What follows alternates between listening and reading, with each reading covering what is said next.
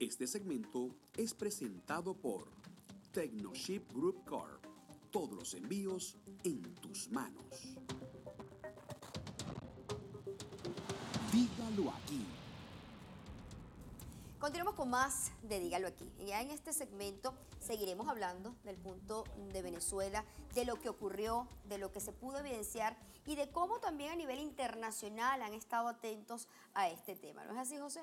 Así es, precisamente. Y es que la comunidad internacional tiene los ojos puestos sobre nuestro país, sobre lo que ha sido el desempeño a lo largo de toda esta carrera por el logro del día de ayer en estas elecciones parlamentarias y ahora más de cerca, sin duda, en lo que va a ser el desenvolvimiento de estos eh, resultados y de cada uno de los puestos que se van a ocupar en nuestro Parlamento. Y precisamente para analizar eh, esta visión desde el punto de vista, digamos, eh, mandatario, tenemos un invitado muy especial acá en el estudio. Así es, Armando Calderón Sol, él fue presidente de la República del Salvador y conocedor de este tema, del tema venezolano, al Estado incorporado a la UPLA desde hace muchísimo tiempo, conoce a Venezuela, ha estado allí observando los procesos electorales. Y ayer lo teníamos en el operativo que realizamos acá en el Venezolano TV, un operativo de muchísimas horas, y contábamos justamente con su participación. Usted hablaba, ojalá se respete la voluntad del pueblo venezolano, su apreciación de todo el proceso de ayer. Pues mire, yo creo que estamos muy contentos, América Latina y el mundo entero está, creo, celebrando lo que tanto se esperaba, que hubiese un verdadero cambio en Venezuela, que el pueblo se volcara y en efecto el pueblo se volcó, se volcó a las urnas y eso ha sido lo maravilloso. Usted ve que las elecciones han sido eh, pacíficas y que el pueblo se quiso expresar y se expresó queriendo paz, queriendo armonía, queriendo tolerancia, pero se volcó a las urnas y, y en ese sentido ha dado una muestra, no solo para Venezuela, sino que al mundo entero, el pueblo venezolano, de lo que quiere y lo que se debe de hacer como un pueblo civilizado y un pueblo que quiere encontrarles soluciones democráticas y eh, con el ejercicio de la democracia y con los instrumentos de la democracia ha sentado un precedente. Fue tan grande ese vuelco que ya no, nadie lo podía apañar.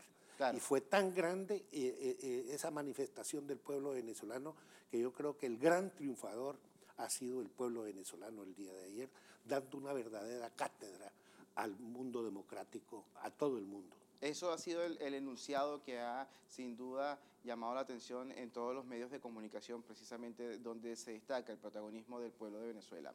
Eh, ante lo que es eh, quizás la sensación de resentimiento que puede haber dentro de algunos representantes de la oposición que puedan verse reflejados con esta sorpresa de poder lograr tener un control eh, quizás más legítimo dentro de la Asamblea Nacional, hay quienes eh, dicen que es necesario mantener eh, el nivel de tolerancia ahora en el debate, en, la medición de fuerzas dentro del Poder Legislativo, puesto que no, no deberíamos dejarnos eh, abordar por este tipo de efervescencia a la hora de reclamar, pero tampoco hacer borrón y cuenta nueva, porque hay que sacar muchas cuentas de lo que ha sucedido a lo largo de todo este tiempo. Claro, claro que sí. Yo creo que lo, malo sería un exacerbado triunfalismo. Así es. Eh, creo que eso no le conviene a nadie y, no es lo deseable.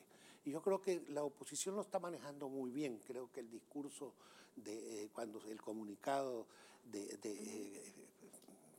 manifestando el triunfo de las elecciones fue muy, muy sensato, muy, muy, muy cívico, muy trascendente, diría yo. Y, y, acuérdese también que, que ha dado una cátedra también, no solo el pueblo venezolano, sino sus políticos. Creo que la madurez de los políticos venezolanos nos están enseñando a todos los políticos en América, en especialmente en América Latina, que es a través de la unidad que se puede lograr mucho porque esa unidad, esa mesa de la unidad, el llegar unidos a las elecciones, ese ha sido un esfuerzo maravilloso que no tiene parangón en la política de América Latina y creo que es un ejemplo que hay que resaltar.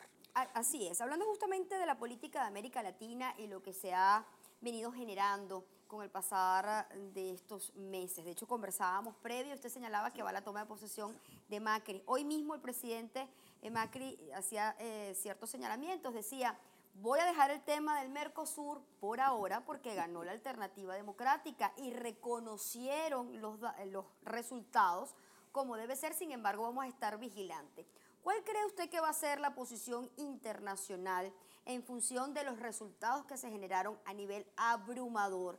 Donde estamos hablando de, eh, de, datos que se doblaron, o sea, el pueblo se expresó y no por un poco, no fue un poquito, hubo un 74% de participación, fueron datos interesantes, fueron números eh, que quizás no se habían generado durante muchísimos años en nuestro país. Es decir, eh, esto tiene connotaciones importantes. ¿Cómo cree usted que vaya a generarse esto a nivel internacional? Pues mire, yo creo que lo, primero que hay que interpretar es que el pueblo venezolano ha rechazado totalmente al socialismo. Sí. Eso, está más que claro.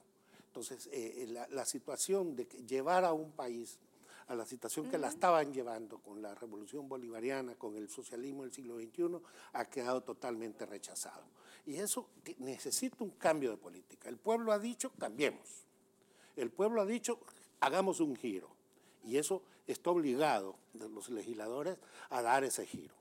Ese giro tiene que ser un giro racional, que lo va con tolerancia, pero con firmeza, tienen que dar un giro para la economía, para el bien del país, para la productividad, para sacarlo adelante, para el abastecimiento, si es un pueblo que está desabastecido. O sea, la situación es, crítica y en ese aspecto eh, eh, tendrá que entrar las, todas las autoridades. Yo creo que también las democracias y los países del mundo democrático tienen que ponerse a las órdenes del nuevo gobierno, si hay gobierno, y si no del parlamento eh, y, en la búsqueda de un, gobierno sensato, tiene que o moderarse este señor y cumplir con las leyes que se den, y, pero habrá que en, muchos momentos respaldarlo internacionalmente también con financiamiento o con dinero porque va a hacer falta. Además que eh, son pocos eh, los eh, poderes económicos que pudieran estar interesados en estos momentos en invertir en Venezuela ante la inestabilidad que hay desde el punto de vista gubernamental. Pero no, eh, yo creo que no, al contrario. Eso ha variado totalmente. Ahora se abren las puertas para las inversiones. Pero hay que esperar para legislar también. Ahora, pero toca un punto importante. Decía, si este gobierno se mantiene o no.